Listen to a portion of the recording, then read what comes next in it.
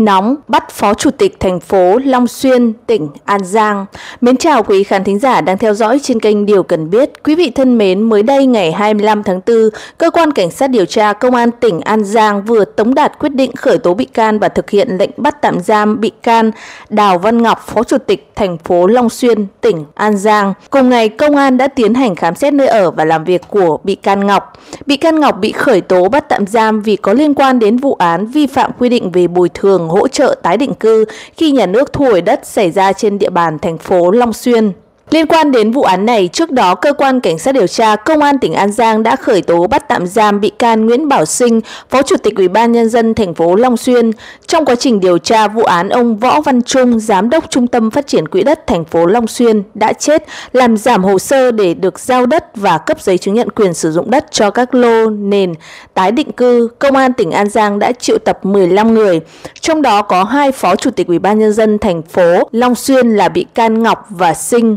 và 10 người thuộc chi nhánh văn phòng đăng ký đất đai thành phố Long Xuyên. Đến nay, cơ quan cảnh sát điều tra công an tỉnh An Giang đã khởi tố bắt tạm giam 5 người gồm hai phó chủ tịch Ủy ban nhân dân thành phố Long Xuyên và Nguyễn Thanh Phong, cán bộ trung tâm phát triển quỹ đất thành phố, Nguyễn Thiện Thanh, cán bộ phòng tài nguyên và môi trường thành phố, Huỳnh Lê Phong, nguyên trưởng phòng tài nguyên và môi trường thành phố. Theo kết quả điều tra ban đầu, từ năm 2019, ông Trung đã lợi dụng chức vụ phó giám đốc và giám đốc trung tâm phát triển quỹ đất đất thành phố Long Xuyên làm hồ sơ khống để cấp sai quy định 5 thửa đất cho 5 hộ dân. Những hộ dân này là ông Nguyễn Văn Cương, ngụ tỉnh Tiền Giang, Nguyễn Văn Tiếp, Nguyễn Văn Núp, Nguyễn Tấn Tài và Trần Thị Hồng Hoa cùng ngụ tỉnh An Giang. Sau khi đã cấp giấy chứng nhận, ông Trung đã bán hai thửa đất do Cương và Tiếp đứng tên cho Lê Văn Phong, ngụ thành phố Long Xuyên với giá 7,2 tỷ đồng. Sau đó Phong bán lại cả hai thửa đất này cho người khác với giá 11,5 tỷ đồng. Công an tỉnh An Giang xác định cả năm thửa đất nêu trên do những người có thẩm quyền trách nhiệm đã tham mưu duyệt cấp không đúng đối tượng được bồi thường hỗ trợ tái định cư.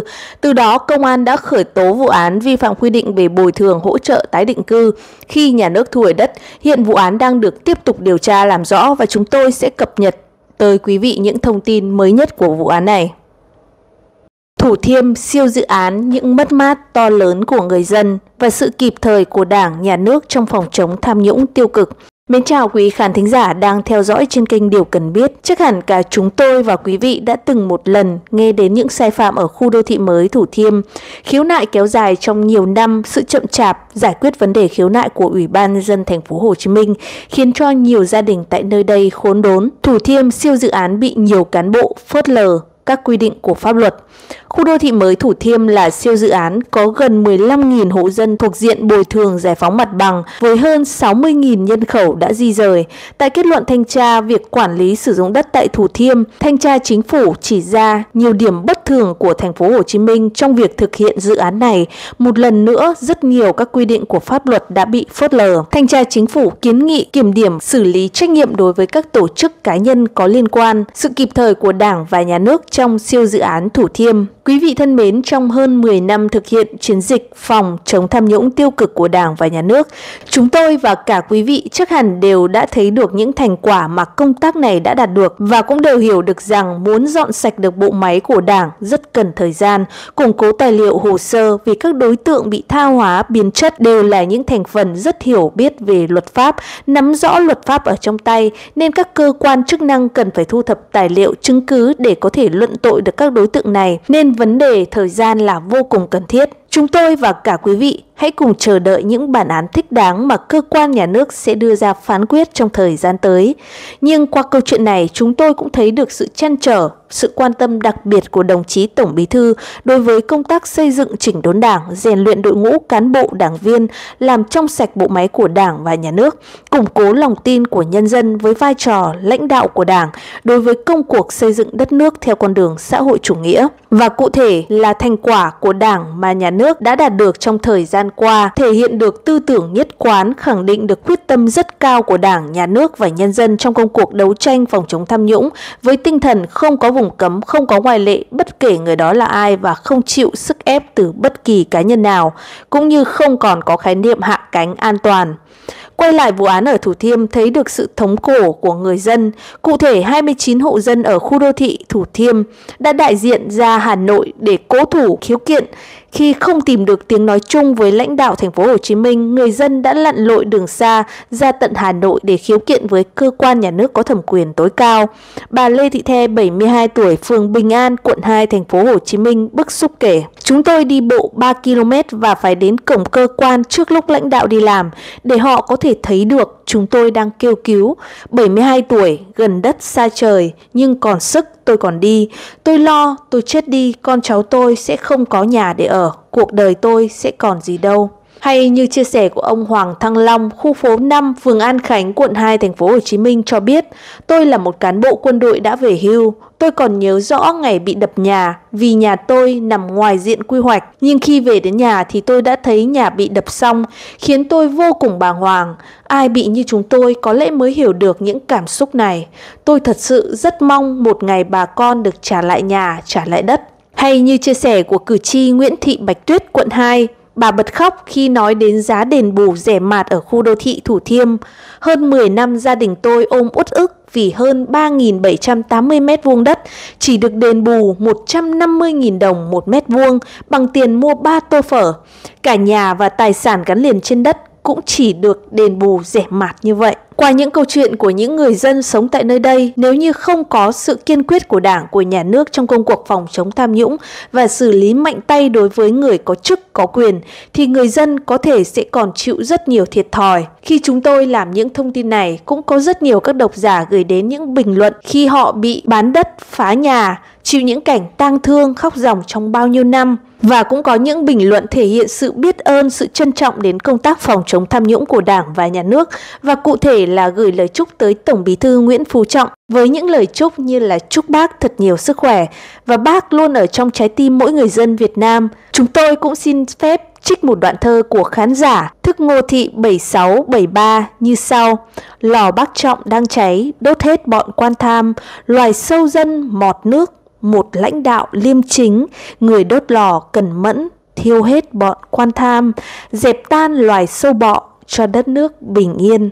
Nhưng qua đây chúng ta cũng phải thẳng thắn thừa nhận rằng công tác phòng chống tham nhũng vẫn còn những hạn chế còn những bất cập, tình trạng nhũng nhiễu tiêu cực trong khu vực hành chính dịch vụ công chưa được ngăn chặn có hiệu quả. Tham nhũng trên một số lĩnh vực vẫn rất nghiêm trọng, phức tạp với những biểu hiện ngày càng tinh vi, xảo trá, gây bức xúc trong xã hội. Tham nhũng tiêu cực vẫn là một trong những kẻ thù rất hung ác, nguy cơ đe dọa đến sự tồn vong của đảng, của chế độ. Dù khó khăn là vậy, nhưng chúng tôi lại nhớ đến câu nói của Chủ tịch Hồ Chí Minh từng căn dặn,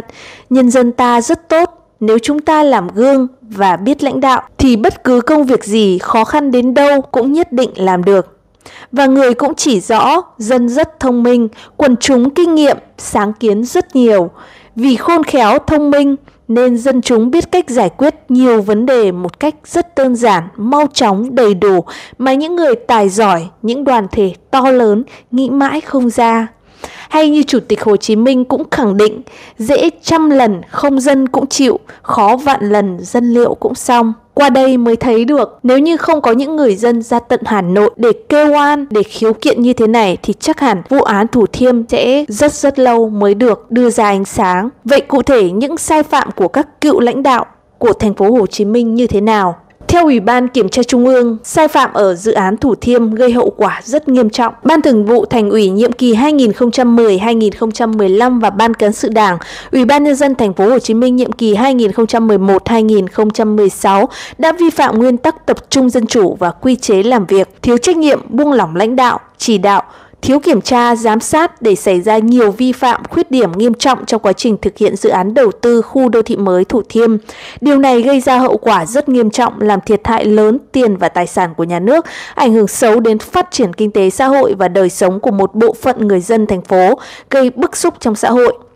Ủy ban Kiểm tra Trung ương xác định ông Lê Thanh Hải, cựu ủy viên Bộ Chính trị, bí thư Thành ủy chịu trách nhiệm chính về những vi phạm khuyết điểm của Ban Thường vụ Thành ủy. Ông Lê Hoàng Quân, cựu ủy viên Trung ương Đảng, phó bí thư Thành ủy, cựu bí thư Ban cán sự Đảng, Chủ tịch Ủy ban nhân dân thành phố Hồ Chí Minh cùng chịu trách nhiệm về những vi phạm khuyết điểm của Ban Thường vụ Thành ủy và chịu trách nhiệm chính về những vi phạm khuyết điểm của Ban cán sự Đảng Ủy ban nhân dân thành phố Hồ Chí Minh. Hay ông Nguyễn Văn Đua, cựu phó bí thư thường trực Thành ủy, ủy viên Ban cán sự Đảng, cựu Phó Chủ tịch Ủy ban nhân dân thành phố Hồ Chí Minh và các ông bà Nguyễn Thị Hồng, Lê Văn Khoa, cựu Ủy viên Ban Thường vụ Thành ủy, Ủy viên Ban cán sự Đảng, Phó Chủ tịch Ủy ban nhân dân thành phố, ông Vũ Hùng Việt, cựu Thành ủy viên, Ủy viên Ban cán sự Đảng, Phó Chủ tịch Ủy ban nhân dân thành phố cùng chịu trách nhiệm về những vi phạm, khuyết điểm của Ban Thường vụ Thành ủy, của Ban cán sự Đảng, Ủy ban nhân dân thành phố và chịu trách nhiệm cá nhân trong thực hiện chức trách nhiệm vụ được phân công, vi phạm của Ban Thường vụ Thường ủy, nhiệm kỳ 2010-2015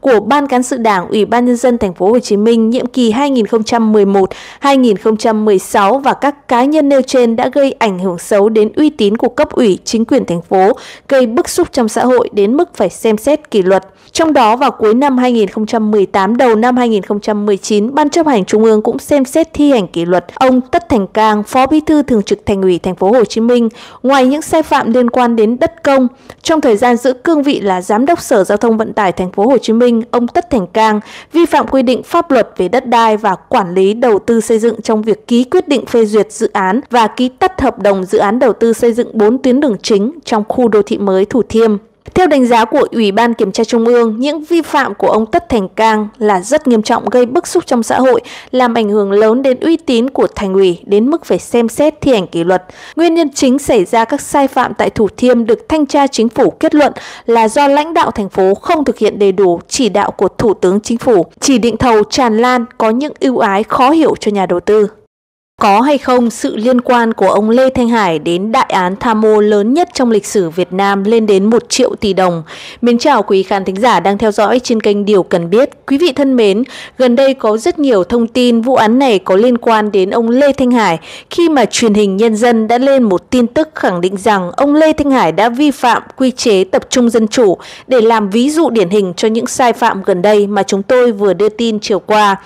Và chúng tôi cũng từng nhớ Tổng Bí Thư đã từng nói không còn khái niệm hạ cánh an toàn khi tay đã nhúng chàm. Chưa bao giờ cuộc chiến chống tham nhũng thu được nhiều kết quả khả quan như hiện tại. Liên tục có những cán bộ bị xử lý vì có liên quan đến tiêu cực được công khai trước dư luận. Sự vào cuộc của cả hệ thống chính trị trong đấu tranh với tham nhũng đã và đang khơi dậy niềm tin của toàn xã hội, nhân dân. Và để làm rõ thông tin có hay không sự liên quan của ông Lê Thanh Hải đến đại án tham ô lớn nhất trong lịch sử lên đến 1 triệu tỷ đồng, thì mời quý vị hãy cùng chúng tôi tìm hiểu trong video ngày hôm nay. Những ngày vừa qua, chúng ta vừa chứng kiến một đại án vô cùng lớn trong lịch sử của Việt Nam về tham ô tài sản chấn động trên toàn thế giới. Cũng có rất nhiều nghi vấn đã đặt ra là tại sao bà Trương Mỹ Lan có thể hoành hành trong một thời gian dài như vậy mà không bị một cơ quan quản lý nhà nước có thẩm quyền nào phát hiện ra những sai phạm. Liệu đằng sau bà Trương Mỹ Lan có một nhân vật nào đó trong thời kỳ đó đã chống lưng cho bà Trương Mỹ Lan hay không? nhân vật giấu mặt nào đã chống lưng cho bà Trương Mỹ Lan. Trong thời kỳ đó, ai cũng biết Chủ tịch Ủy ban nhân dân thành phố Hồ Chí Minh, thời vàng son của Vạn Thịnh Phát, thời vàng son của bà Trương Mỹ Lan, khi đó chính là thời kỳ của Chủ tịch Lê Thanh Hải. Khi đó ông là nguyên ủy viên Bộ Chính trị, nguyên bí thư Thành ủy thành phố Hồ Chí Minh. Mới đây chúng ta thấy truyền hình nhân dân nêu ra ông Lê Thanh Hải đã vi phạm nguyên tắc tập trung dân chủ, quy chế làm việc của Thành ủy, trực tiếp kết luận nhiều vấn đề thuộc thẩm quyền của Ban Thường vụ Thành ủy. Đối với vấn đề của khu đô thị Thủ Thiêm Liêm và còn nhiều hành vi sai phạm khác. Liệu có hay không việc ông Lê Thanh Hải có liên quan đến tập đoàn Vạn Thịnh Phát và bà Trương Mỹ Lan thì chúng ta hãy cùng chờ đợi các cơ quan chức năng sẽ có câu trả lời. Các cơ quan truyền thông quốc tế cũng cho rằng vụ án của bà Trương Mỹ Lan không đơn thuần chỉ là một vụ án tham ô tài sản và tham ô của Vạn Thịnh Phát quá lớn với một thời gian quá dài, không thể nào mà không có một viên chức quan trọng nào hỗ trợ đằng sau đứng chống lưng cho Vạn Thịnh Phát. Vậy cụ thể ông Lê Thanh Hải đã từng chỉ đạo những gì ở Thủ Thiêm? Trong 15 năm vừa làm Chủ tịch Ủy ban Nhân dân vừa là Bí thư Thành ủy, ông Lê Thanh Hải đã có hàng loạt các chỉ đạo làm khu đô thị mới Thủ Thiêm biến dạng. Ông Lê Thanh Hải hiện 70 tuổi, giữ chức Chủ tịch Ủy ban Nhân dân thành phố Hồ Chí Minh từ năm 2001 đến năm 2006. Sau khi được bầu làm Ủy viên Bộ Chính trị, ông được phân công giữ chức Bí thư Thành ủy Thành phố Hồ Chí Minh trong suốt 10 năm, từ năm 2006 đến năm 2015. Thời kỳ ông Hải là lãnh đạo cao nhất của Ủy ban nhân dân thành phố và Thành ủy Thành phố Hồ Chí Minh cũng là lúc dự án khu đô thị mới Thủ Thiêm quận 2 bắt đầu được triển khai. Ông Hải đã ký nhiều công văn chỉ đạo liên quan đến việc quy hoạch xây dựng khu đô thị được kỳ vọng hiện đại nhất Đông Nam Á. Sau hàng chục năm, Ủy ban Kiểm tra Trung ương xác định ông Lê Thanh Hải và hàng loạt cán bộ chủ chốt của Ban Thường vụ Thành ủy Thành phố Hồ Chí Minh nhiệm kỳ 2010-2015, Ban cán sự Đảng Ủy ban nhân dân Thành phố Hồ Chí Minh nhiệm kỳ 2011-2016 có các sai phạm trong quá trình thực hiện dự án khu đô thị mới Thủ Thiêm. Trong quyết định 367 năm 1996, Thủ tướng phê duyệt quy hoạch xây dựng khu đô thị mới Thủ Thiêm quy mô 930 ha bao gồm khu đô thị mới 770 ha và khu tái định cư là 160 ha nằm giáp danh thuộc địa bàn phường An Khánh, An Lợi Đông, Bình An, Bình Khánh và Thủ Thiêm. Tuy nhiên, theo kết luận thanh tra chính phủ, trước khi quyết định của Thủ tướng ban hành, thành phố Hồ Chí Minh đã giao 23,3 ha đất ở phường Bình An cho 5 doanh nghiệp đầu tư dự án kinh doanh nhà ở, khu vui chơi, giải trí, thương mại. So với quy hoạch được phê duyệt, diện tích khu đô thị mới Thủ Thiêm đã giảm 26,3 hecta, bao gồm 3 hecta mặt nước. Để bù vào phần hụt này, ngày 16 tháng 9 năm 1998 theo yêu cầu của Ủy ban nhân dân thành phố Hồ Chí Minh, kiến trúc sư trưởng thành phố phê duyệt quy hoạch 1 phần 2 nghìn có nội dung bổ sung danh giới quy hoạch khoảng 4,3 hecta đất phía Bắc thuộc một phần khu phố 1 phường Bình An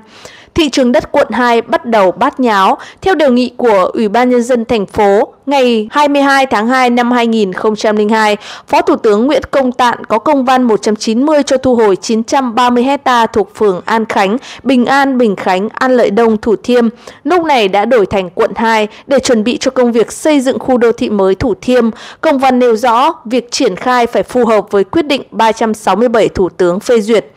Ngày 6 tháng 3 năm 2002, Phó Chủ tịch Ủy ban nhân dân thành phố Hồ Chí Minh Vũ Hùng Việt ký công văn yêu cầu các sở ngành xác định địa điểm, diện tích và danh giới giao đất của 930 hecta, bao gồm 770 hecta xây dựng khu đô thị mới và 160 hecta xây dựng khu tái định cư. Trong đó nêu nếu thiếu đất cho phép điều chỉnh diện tích các dự án trên địa bàn quận 2 để đảm bảo đủ diện tích theo phê duyệt của chính phủ. Nửa tháng sau, Chủ tịch Ủy ban nhân dân thành phố Hồ Chí Minh Lê Thanh Hải yêu cầu điều chỉnh diện tích khu đô thị mới, giao kiến trúc sư trưởng thành phố, giám đốc sở địa chính nhà đất cắm mốc đủ 770 hecta đất theo giải pháp bổ sung hơn 40 hecta của khu tái định cư Bình Khánh, giả soát lại quỹ đất trên địa bàn quận 2 và đề xuất phạm vi giao đủ 160 hecta tái định cư. Sau đó để có đủ đất bù vào khu tái định cư, ông Hải tiếp tục yêu cầu giả soát lại quỹ đất trên địa bàn quận 2, thu hồi đất của các dự án chậm triển khai, không nhất thiết tại một địa điểm, thực tế chỉ có khoảng 10 đến 20 hecta giáp danh khu đô thị mới. Từ chỉ đạo này của ông Hải, khu tái định cư Thủ Thiêm đã được chuyển ra xa và chia thành 6 địa điểm tại các phường Bình Khánh, An Phú, An Khánh, Thạch Mỹ Lợi, Cát Lái, trong đó có khoảng 50 hecta ở phường Cát Lái, giáp tỉnh Đồng Nai, cách khu đô thị mới đến 15 km.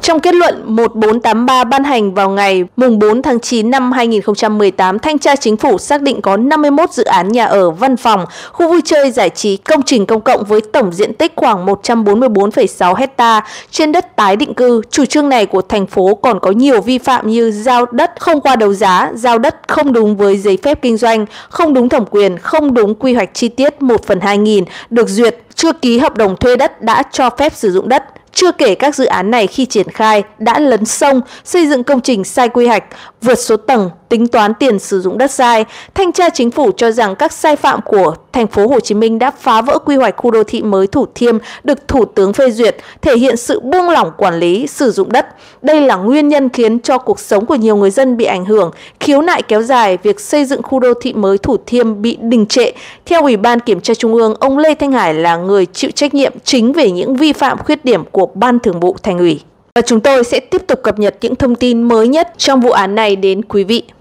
Lò đang cháy, bãi nhiệm chức vụ Chủ tịch Hội đồng Nhân dân tỉnh với cựu bí thư tỉnh Lâm Đồng. Mến chào quý khán thính giả đang theo dõi trên kênh Điều Cần Biết. Quý vị thân mến, sáng ngày 19 tháng 4, Hội đồng Nhân dân tỉnh Lâm Đồng đã tiến hành kỳ họp thứ 14, kỳ họp chuyên đề khóa 10 nhiệm kỳ 2021-2026. Tại kỳ họp này, các đại biểu Hội đồng Nhân dân tỉnh Lâm Đồng đã tiến hành biểu quyết bãi nhiệm chức vụ đối với ông Trần Đức Quận và ông Trần Văn Hiệp theo hình thức công khai. Theo đó, 100% đại biểu có mặt đã đồng ý bãi nhiệm chức vụ Chủ tịch Hội đồng Nhân dân đối với ông Trần Đức Quận, cựu bí thư tỉnh ủy Lâm Đồng và chức vụ Chủ tịch Ủy ban Nhân dân tỉnh đối với ông Trần Văn Hiệp. Ngoài ra, 100% các đại biểu có mặt cũng đồng ý bãi nhiệm tư cách đại biểu Hội đồng Nhân dân đối với ông Trần Đức Quận và ông Trần Văn Hiệp do vi phạm các quy định của Đảng và Nhà nước, không còn đủ tư cách là đại biểu Hội đồng Nhân dân. Trước đó, ông Trần Đức Quận và ông Trần Văn Hiệp đã bị cơ quan cảnh sát điều tra Bộ Công an khởi tố bắt tạm giam để điều tra việc nhận hối lộ do liên quan đến các sai phạm nghiêm trọng tại dự án khu đô thị thương mại,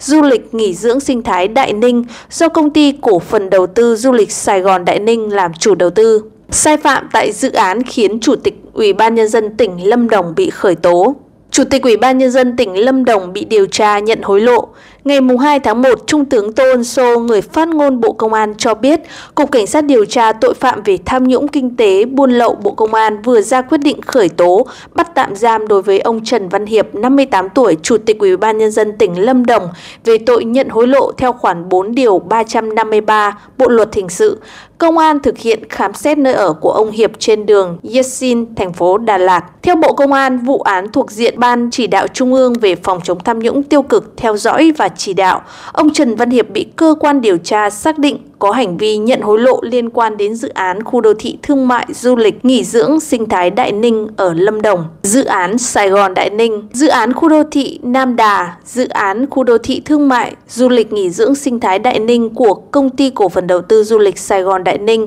được Ủy ban nhân dân tỉnh Lâm Đồng cấp giấy chứng nhận đầu tư. Năm 2010 có quy mô 3.595 ha trải rộng trên địa bàn 4 xã ở huyện Đức Trọng, tổng vốn đầu tư 25.243 tỷ đồng. Thời gian dự kiến thực hiện từ năm 2010 đến năm 2018. Sau 13 năm triển khai, dự án chỉ thực hiện được một số hạng mục bao gồm 15 nhà làm việc và nghỉ dưỡng của một chuyên gia, một hội trường, 6 trạm dừng chân, khoảng 20 km đường nội bộ, trồng hơn 10 hecta rừng trên diện tích lấn chiếm đã được giải tỏa. Các hạng mục đã xuống cấp kết cấu bê tông hư hỏng sắt thép, hoen dỉ. Siêu dự án 25.243 tỷ đồng khiến nhiều cán bộ vướng vòng lao lý. Liên quan đến dự án này, hồi tháng 6 năm 2020, Thanh tra Chính phủ đã công bố kết luận số 929 yêu cầu Ủy ban Nhân dân tỉnh Lâm Đồng chấm dứt hoạt động thu hồi đất của dự án Sài Gòn Đại Ninh do vi phạm pháp luật về đất đai và đầu tư.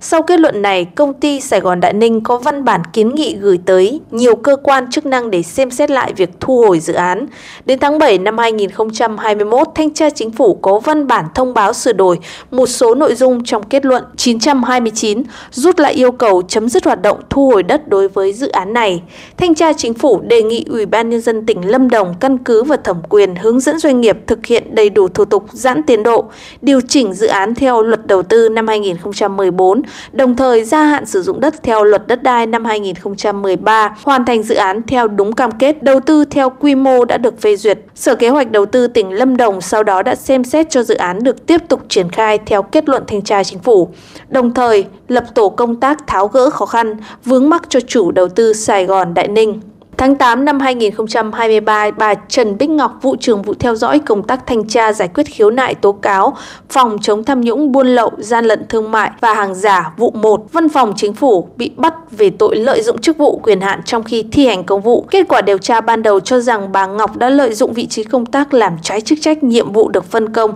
trong giải quyết thanh tra khiếu nại đối với dự án Đại Ninh gây thiệt hại cho lợi ích của nhà nước. Dự án Sài Gòn Đại Ninh cũng được nhắc tên khi liên quan đến tập tập đoàn Vạn Thịnh Phát, trong đó chủ tịch tập đoàn Kepler Nguyễn Cao Trí dùng dự án để chiếm đoạt tài sản của bà Trương Mỹ Lan. Năm 2020 sau nhiều lần mua bán, ông Trí đã thanh toán 2.230 tỷ đồng để sở hữu thành công 58% vốn điều lệ của công ty Sài Gòn Đại Ninh. Ông Trí đã thỏa thuận sẽ bán lại cho bà Lan 100% vốn đang sở hữu với giá 3.000 tỷ đồng. Bà Lan đã 5 lần chuyển tiền đặt cọc cho ông Trí tổng cộng là 20 triệu đô khoảng 460 tỷ đồng và 127 tỷ đồng. Cơ quan điều tra đang xác định số tiền ở dự án này cùng với hai dự án khác của đại gia Nguyễn Cao Trí đã chiếm đoạt của Chủ tịch Tập đoàn Vạn Thịnh Phát 40 triệu đô tương đương với 1.000 tỷ đồng.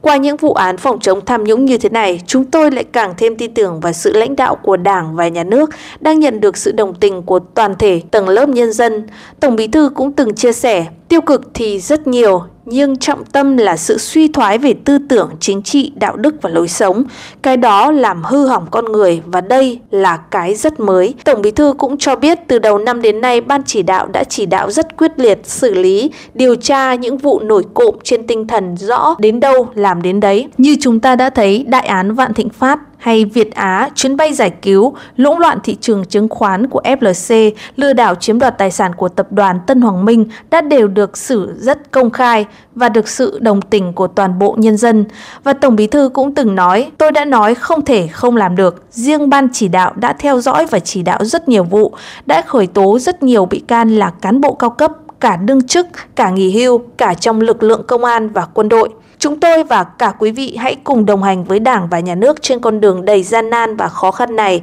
để đất nước được ổn định chính trị, phát triển kinh tế, để ổn định đời sống của người dân. Tôn trọng luật pháp cũng chính là tôn trọng quyền con người, được sống và làm việc tại Việt Nam là một điều vô cùng hạnh phúc và biết ơn. Khi chúng tôi tổng hợp chương trình, chúng tôi nhớ lại vì quyền con người, quyền được sống tự do và ngôn luận mà vị chủ tịch khả kính của chúng ta, Chủ tịch Hồ Chí Minh đã dành ra cả cuộc đời để ra đi tìm đường cứu nước, khát vọng giải phóng dân tộc của Chủ tịch Hồ Chí Minh được gắn liền với thực hiện quyền con người, tất cả vì con người trong suốt quá trình hoạt động cách mạng của bác. Chứng kiến mọi nỗi đau của nhân dân năm 1919, thay mặt những người yêu nước Việt Nam, bác đã gửi bản yêu sách của dân tộc Việt Nam gửi đến hội nghị Versailles tại Pháp. Bản yêu sách bao gồm 8 điểm rất ôn hòa, yêu cầu chính phủ Pháp trao trả lại một số quyền tự do, dân chủ tối thiểu và cơ bản cho người dân Việt Nam, cũng như các dân tộc ở Đông Dương. Nhưng những yêu sách đó của Nguyễn Ái Quốc đều không được đại diện các nước tham gia hội nghị Versailles quan tâm. Sau hội nghị đó, bác ngày càng càng nhận rõ bản chất của chủ nghĩa đế quốc thực dân và rút ra kết luận rất quan trọng rằng muốn được giải phóng các dân tộc chỉ có thể trông cậy vào lực lượng của chính bản thân mình phải thông qua cuộc đấu tranh lâu dài gian khổ. Cũng vậy trong cuộc chiến phòng chống tham nhũng, nếu như không có sự đồng hành của nhân dân và nội lực của chính cơ quan nhà nước có thẩm quyền, cụ thể ở đây chính là Đảng Cộng sản, thì sẽ không thể làm trong sạch vững mạnh cũng như phát triển đất nước được lâu dài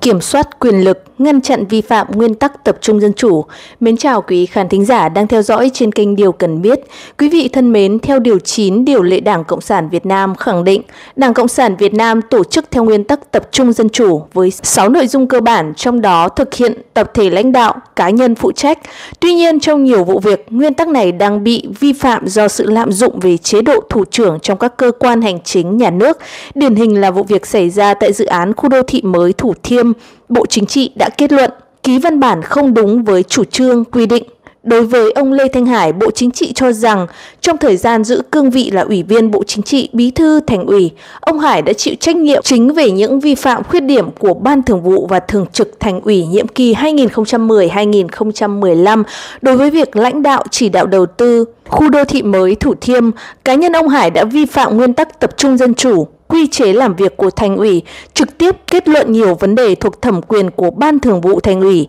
với cương vị là Phó Bí thư Thành ủy, Bí thư Ban cán sự Đảng, Chủ tịch Ủy ban nhân dân thành phố. Ông Hải chịu trách nhiệm chính về các vi phạm của Ủy ban nhân dân thành phố, trực tiếp ký một số văn bản không đúng với chủ trương của Hội đồng nhân dân thành phố và quy định của Luật Ngân sách năm 2002, Luật xây dựng năm 2003. Xét nội dung và tính chất cũng như mức độ và hậu quả vi phạm và quá trình công tác công hiến đóng góp của ông Hải đối với thành phố Hồ Chí Minh, Bộ Chính trị quyết định thi hành kỷ luật đối với ông Lê Thanh Hải bằng hình thức cách chức Bí thư Thành ủy thành phố Hồ Chí Minh nhiệm kỳ 2010-2015. Ông Lê Thanh Hải 70 tuổi, từng là ủy viên Ban chấp hành Trung ương Đảng, Phó Bí thư Thành ủy thành phố Hồ Chí Minh, Chủ tịch Ủy ban nhân dân thành phố Hồ Chí Minh từ năm 2001 đến năm 2006. Từ tháng 4 năm 2006, ông Hải được bầu vào Bộ Chính trị và từ tháng 6 năm 2006 2006, ông được phân công làm Bí thư Thành ủy Thành phố Hồ Chí Minh nhiệm kỳ 2005-2010. Trong nhiệm kỳ 2010-2015, ông Hải tiếp tục là Ủy viên Bộ Chính trị, Bí thư Thành ủy Thành phố Hồ Chí Minh. Tại đại hội 12, ông Hải không tái đắc cử Ban chấp hành Trung ương Đảng, kết thúc nhiệm kỳ tại Bộ Chính trị thôi giữ chức Bí thư Thành ủy Thành phố Hồ Chí Minh khi lãnh đạo vi phạm nguyên tắc tập trung dân chủ. Tại kỳ họp 37 vừa qua, Ủy ban Kiểm tra Trung ương đã kết luận về công tác kiểm tra những dấu hiệu vi phạm của Ban Cán sự Đảng Lao động Thương binh và Xã hội trong nhiệm kỳ 2011-2016, 2016-2021. Một trong những vấn đề được nêu lên hàng đầu là Ban Cán sự Đảng và một số cá nhân lãnh đạo bộ này đã vi phạm nguyên tắc tập trung dân chủ, gây ảnh hưởng đến thực hiện chính sách cũng như uy tín chính trị của cơ quan nhà nước. Nếu giả soát các thông báo của Ủy ban Kiểm tra Trung ương trong thời gian gần đây, thì cụm từ vi phạm nguyên tắc tập trung dân chủ xuất hiện với tần suất rất cao, gắn với những hậu quả nghiêm trọng. Trước đó không lâu, tại kỳ họp 36 vào tháng 1 năm 2024, Ủy ban Kiểm tra Trung ương cũng đã kết luận Ban Cán sự Đảng Ủy ban Nhân dân tỉnh Bắc Ninh đã vi phạm nguyên tắc tập trung dân chủ, quy chế làm việc và nhiều vi phạm khác trong việc thực hiện một số dự án gói thầu do Công ty Cổ phần Tiến bộ Quốc tế AIC và các công ty trong hệ sinh thái AIC thực hiện. Đi cùng với các kết luận này là hàng loạt các lãnh đạo, nguyên lãnh đạo của tỉnh bị kỷ luật